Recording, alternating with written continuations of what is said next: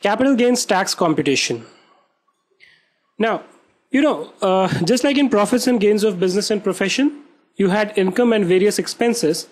Similarly, in case of capital gains computation also, you have basically your uh, receipts, which are the sale proceeds, and then you have your cost. So instead of expenses, you have cost, right? But before I explain this entire table to you, let me just explain one thing to you, which I think will then make it easier for you to kind of understand this whole thing. Now, let us say, for example, I'll take you through a life cycle of a transaction.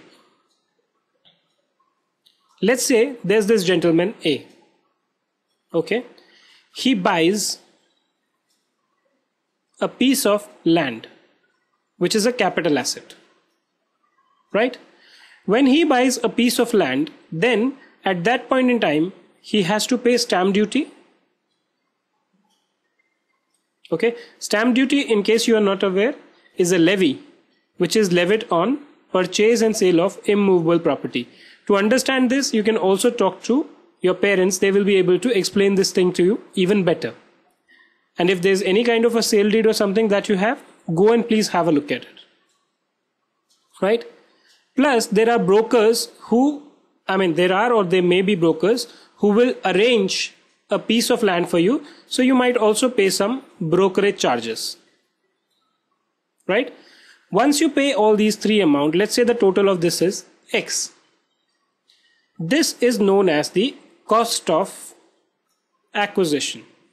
To acquire this capital asset, what are the various costs that I paid? Right? Now, three years down the line, this gentleman realizes that the value of this land is now 2x. Okay, so he again goes to this broker and tells him, Can you please arrange a buyer for me? This broker is very happy. He gets a buyer, and this time what happens is he sells the land. Right? When he sells the land, land he gets 2x as the income. Right? Now, this is not the income actually, this is the receipt, if I may call it. But what is the profit that this gentleman made? The profit he made was this 2x minus cost of acquisition. I mean, if I give you 10 rupees, okay, and go and tell you, go and get something from the market and sell it to someone else. Let's say you go and get a pair of shoes. They obviously don't come for 10 rupees, but I'm just giving you an example you sell those shoes for 20 rupees, right? What is the profit that you make? You make only 10 rupees of profit, which is 20 minus 10. Why? Because the balance 10 you have to obviously pay it back to me, right? So similarly, when you sell it for 2x, the cost of acquisition is x, then the profit is x. This profit is nothing but the capital gain, right? Now it might just be that again, because this guy is getting you a customer, he might again charge you some brokerage. So if you have to pay any further brokerage, that again has to be reduced from here. It might just be that this buyer may say, you only pay stamp duty. If you agree to pay that, even that has to be reduced. So all these things are fact based, right? But if you see the transaction cycle, this is the way it works. So you buy an asset, you incur some cost in terms of getting the ownership. Then you sell the asset. You might again incur some expenses. From the sale proceeds, you reduce whatever cost you have incurred to get the profit, which profit is nothing but the capital gains.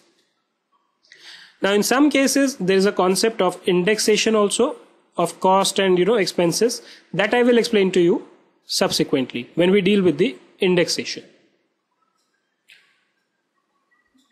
Coming back so how do I compute my taxable capital gain? Mm, this is the end result that I want to reach. So first thing I see is what is my sale consideration? For this section 48 is important because it that tells you what all is to be included in full value of consideration. So let us say this consideration is 5x. I took it 2x there, but I am because I'm taking a couple of things over here. So I'm just changing the number to 5x. Right? The cost of acquisition, let's say is 2x the cost of improvement this is basically let's say in our example only if we purchase land but we found that it is uneven to get it evened out before we can sell it, we incurred a cost of X. So that is also reduced from here. Expenditure on transfer, let's say this is again X. So the total cost that I incurred, which is in this blue section is 4X. 5X is the sale consideration, 4X is my cost. So X is my capital gain. Capital gain is sale consideration minus total cost. Right? Now out of this X, in some cases what happens is, which is basically dealt with in section 54 cases, these capital gains are exempt. Okay? We'll study these in detail, but let's say for example, when you sell a residential house property and you purchase another residential house property, the capital gains arising on the sale of the first one are exempt from tax subject to certain conditions. So if some capital gain is exempt from tax, you mark it over here. If it is not, this is zero. And taxable capital gains are computed by comp reducing from this capital gain the exemptions. So which is X. If this was let's say 0.5x, then this would have been 0.5x. So I think what is important for you to understand is that, you know, how is, is this computed? How does it work in the practical life? I mean, just by mugging up these things, you might understand it for now. You may even go and replicate the entire thing in the question, in the examination. But from a longer term perspective, it's always good to have a sense of how these things are done. Let's move on to the next video now.